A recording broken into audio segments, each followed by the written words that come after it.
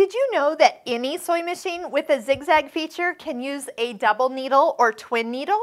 Let me show you a couple tricks about using them, how to thread it, and what you should know about different widths. So twin needles can actually be used decoratively, which is what I'm going to show you. You can use them to simulate that double row of stitching on the bottom of, say, a t-shirt or something stretchy, and often used they are been used for pin tucks. That's how they can kind of grip the fabric and make it pinch a little bit. So on a needle uh, package, you will notice like this one says 2.0. That means that those two needles are two millimeters apart. This one says three and this one says four. But just because you put a needle on the machine doesn't mean you can just pick any old stitch. You are definitely going to need to adjust your stitch width because have you noticed if you pick a decorative stitch, the width comes up at the maximum setting, which is usually six millimeters. So if you put a 2.0 double needle on, you are going to need to narrow that down to four millimeters or less. So six minus two is four, and so that's what we're looking for. Next, for threading the machine, what we're gonna do, oh, did I catch that? I did, I cut that thread on my way up. We'll unthread it. Here we go, put our double needle back in. So I usually always recommend to my students start with a straight stitch. And again, that means that the needle's gonna be in the center and we won't have to worry about it hitting anything right off. Now, as you take two threads in your hand, go ahead and come through the first guide and the second guide like normal. Then right here, did you have you noticed there's a little fin here?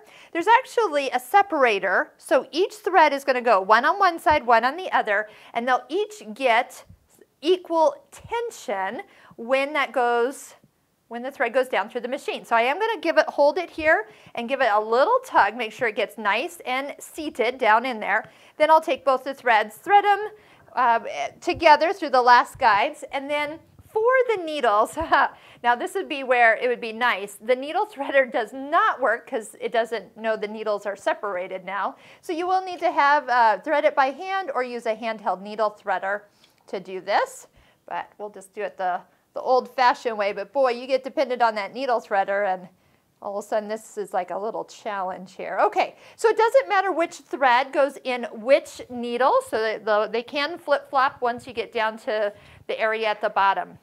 So first off, we're going to test and just make sure that everything is threaded correctly. Usually I'll start sewing a little bit slower, not just go racing off just in case. Everything sounds good. Now, if I go to pick a stitch, now just by picking it, you will need to touch the plus on the zigzag and check the width. Did you see that it said four? So I need that would be the max that this stitch could stitch. Otherwise, I'd break it. So I might even bring it down to three. And it's still going to make a pretty big swing left to right with as a stitch. But what's really fun is if you want to try it with some of the other stitches. So if we go to stitch 14, once again, oop, too big, so I'll bring it down. I'm going to just do three and a half and then go ahead and stitch. These stitches just start to take on a whole nother look. Now some may not look as great as others, but you definitely can have fun trying them out. Remember you can um, hem, you can do pin tucks. Um, I have free motion quilted with a twin needle. Yes, you can, but look at the results that you're going to get. You're gonna have some fun. And right now I have a variegated thread and a solid color in the machine. So, I mean, the combinations of colors can be infinite. So just make sure that when you pick a stitch, you need to adjust the width, check the width. And just because you adjusted it on one stitch, when you go to the next one, it will go back to the default, which is probably six or five, okay? And then it can, um, it, you'll need to reduce each one. Same thing once you turn that machine off and back on, it doesn't remember changes. So keep that in mind if you leave a double needle on overnight. So have some fun, try out some stitches. It's like doubling the amount of stitches that you have built into this machine.